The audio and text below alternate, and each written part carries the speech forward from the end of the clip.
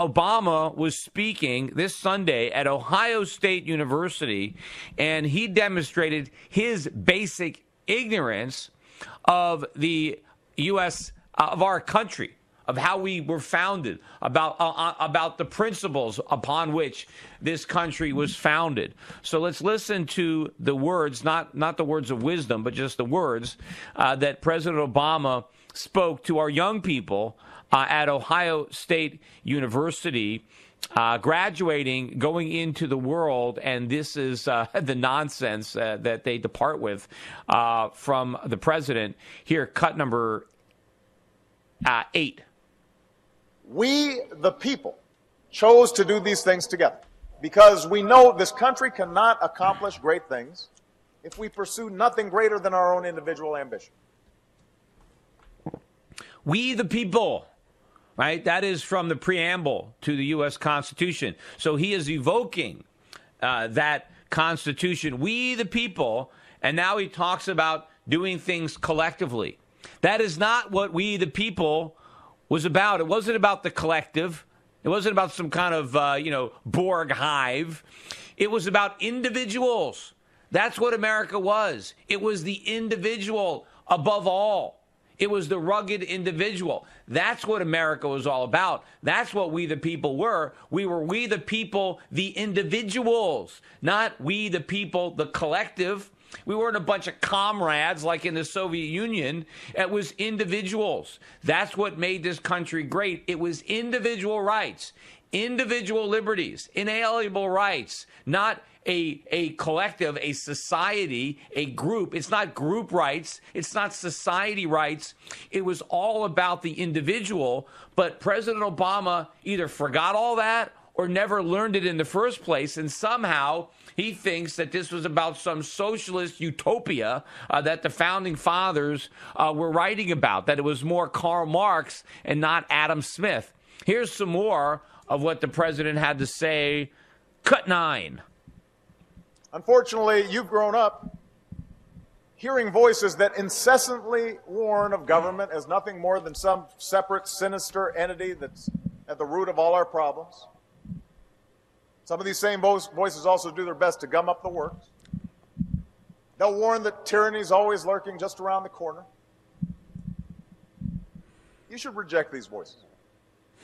Because what they suggest is that our brave and creative and unique experiment in self rule is somehow just a sham with which we can't be trusted. Well, he's right about one thing. It is a sham now, and we can't be trusted. But the brave experiment in self rule was about limited government and the individual, putting the individual above the state. The opposite of what he's talking about. Who are these voices uh, that uh, the president says have been whispering in our ears? Are they the voices of the founding fathers? Is it Thomas Jefferson? Is it is it uh, George Washington and, and John Adams and, and Benjamin Franklin? Are these the voices that we're supposed to ignore? Are these the whispers in the wind uh, that are meaningless? Apparently. Now, of course, uh, the problem is not enough people have heard these voices. I think most people have heard the opposite voices from people like President Obama. But what we need to do is tune those voices out. Here's his final say on this topic Obama cut 10. We have never been a people who place all of our faith in government to solve our problems. We shouldn't want to. But we don't think the government is the source of all our problems either. Because we understand that this democracy is ours. And as citizens, we understand that it's not about what America can do for us, it's about what can be done by us together through the hard and frustrating but absolutely necessary work of self government. And, class of 2013, you have to be involved in that process.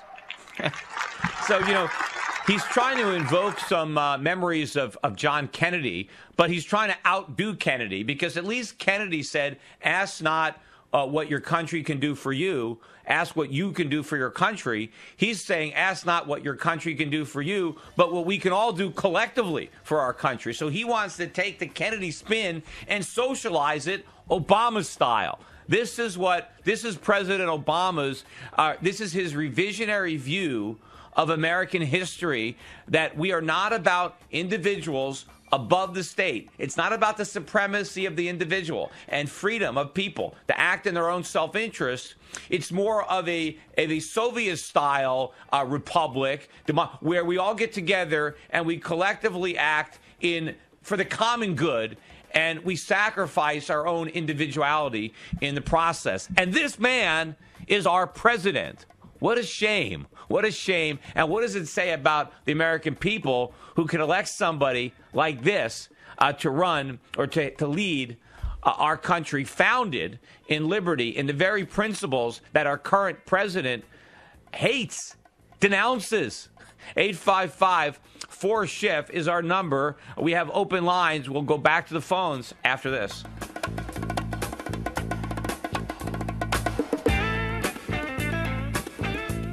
Peter Show.